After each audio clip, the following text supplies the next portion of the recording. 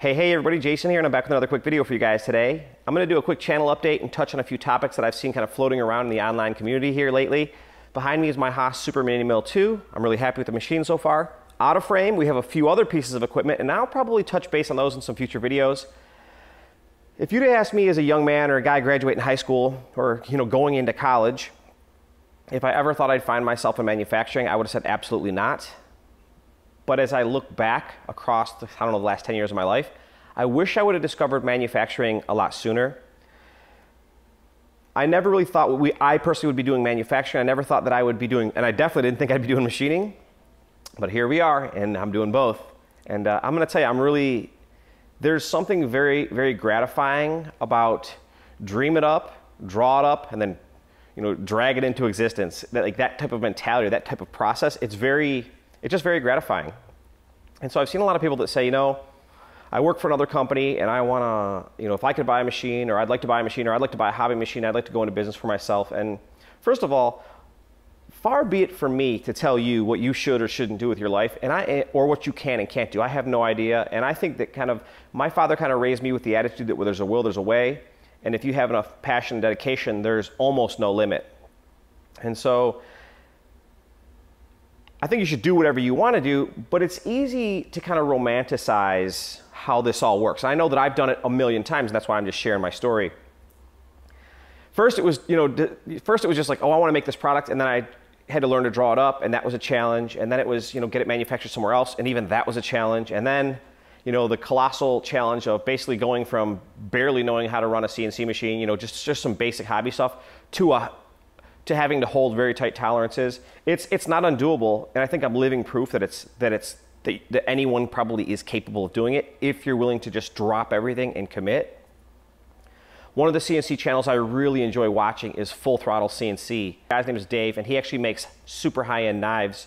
And there's so much that can be accomplished in manufacturing. It's kind of funny. Bear with me, if you will, just for a moment, but a lot of people that go into the service industry, a lot of the value that that you kind of get from a service industry, say you hire a consultant, is it's really contingent. It's contingent value. It's not true like utilitarian style value. And here's what I mean. I, as, as, a, as, an outrageous example, let's just pretend that I have a piece of paper with tomorrow's lottery numbers and it's for, I don't know, $100 million. Well, in theory, if I sold you those lottery numbers for $50 million and you won it, you'd win 100 million. So I'd get 50 million, you'd get 50 million, we'd all win. However, if you bought that lottery ticket from me and you didn't play the lottery, I'd make $50 million and you'd get and you'd be $50 million poorer, right? That value is contingent on your behavior, right? Now, on the flip side, if I had like a fork, just a good old fashioned fork that you could pull out of your, your drawer in your kitchen, if I sold that to you for a dollar, you could use it, or you could just leave it on the counter, but the value isn't going to evaporate. It's not really contingent on its use. And if you wanted to then sell that fork to someone else, there's, there's always going to be a need, right? And so, so there's different types of value based on kind of kind of the circumstances of the product or the service being delivered. And one of the magical things about manufacturing is that the value kind of generally rides in the products depending on the industry you're in. It's not really contingent, like, say, consulting services or something like that.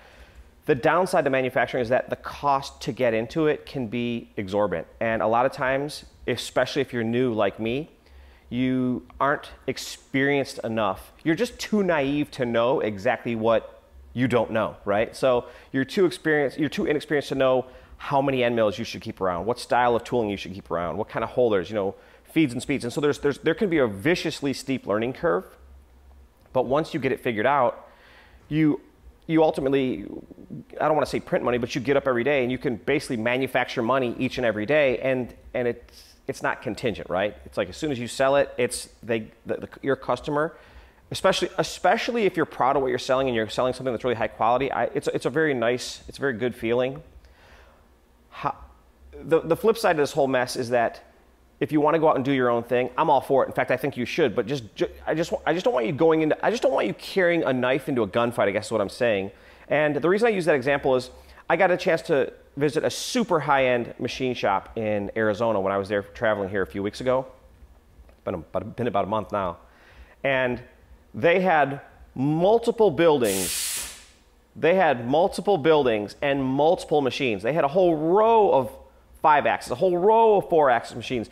And I mean, they're just ripping, shredding through aluminum, and there's pallets and pallets of parts. And, uh, you know, there was a part that was sitting there, was kind of about the size of a Rubik's Cube, you know, a little bit bigger, a little bit smaller. And it had a bunch of holes and features on it. And I asked the guy, I said, hey, you know, what does this go for? And he's like, hundreds of dollars, right? And so the issue that we have is that that was probably, I don't know, maybe 20 bucks in aluminum, tops, absolute tops. And this is a, you know, a part that basically has some holes and some features and stuff like that. It's not super, super sophisticated. And it's absolutely a part that probably could be ran right here behind me with like, I don't know, four or five setups. But when they put that sucker into a five axis machine, they can do it, they can literally cut that part in minutes where it would take us hours and hours and hours. Not necessarily just in the machining, but more so in the setup and prep. And if you go into if you go into the machining business, you're going if you go into the job shop business, you're competing against wolves like that. So you better know what you're doing. And see, that's not me. I after seeing that, I would never even attempt to open a job shop. And if I did, I would probably pick a very narrow niche of specific types of work that we like to do, whether it's a specific industry, specific types of cuts, or specific types of metals.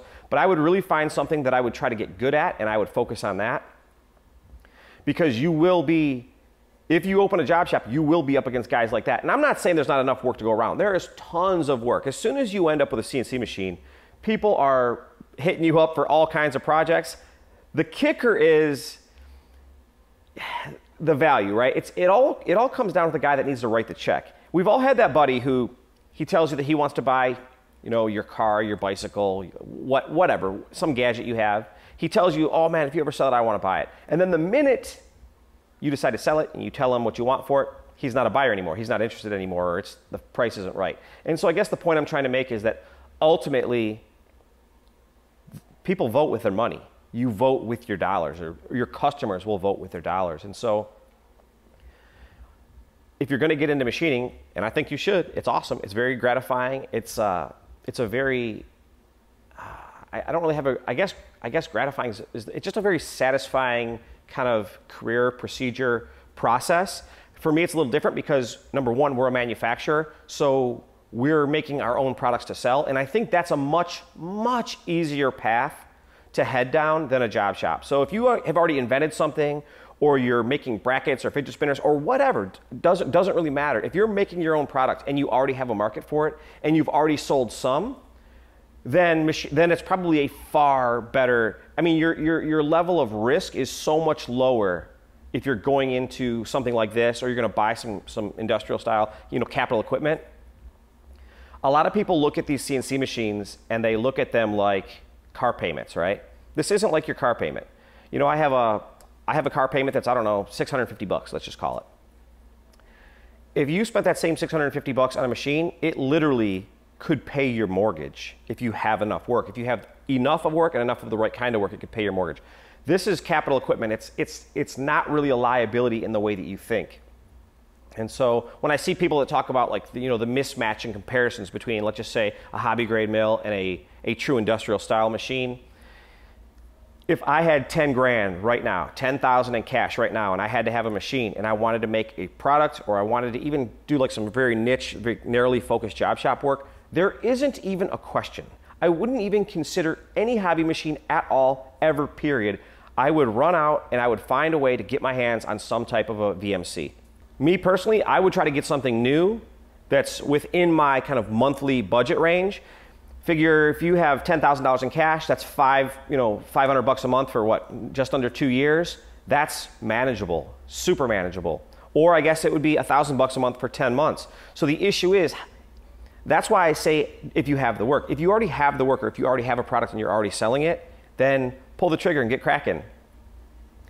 But if you're just doing this all on a whim, now that's very different. You might truly be better off just writing a check for a $10,000 hobby mill, having some fun, and developing the market. And as soon as the market shows up, then, then you pull the trigger on a big VMC. So I just kind of wanted to share my thoughts a little bit. I've watched a lot of interesting videos on feeds and speeds, on the technical aspects of actually running the machines, but nobody really talks about the strategy behind whether or not to buy the equipment Nobody tells you how many tool holders you need, how many end mills you need. You know, are you going to have employees? Like, for instance, we have to pay, you know, we have to pay our employees, we have to pay all the taxation uh, for that, we have to pay workers' comp insurance, we have to pay for insurance on all these machines.